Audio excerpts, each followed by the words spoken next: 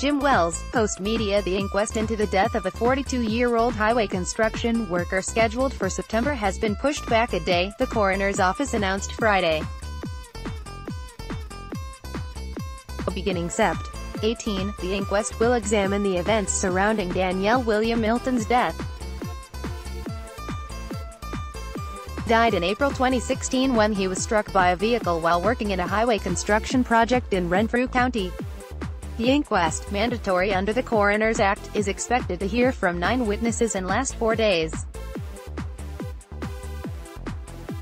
Robert Reddick will preside as the inquest coroner and Jeffrey Richardson will be counsel to the coroner. It will begin at 9 a.m. at the Renfrew Municipal Building, 127 Raglan St. South.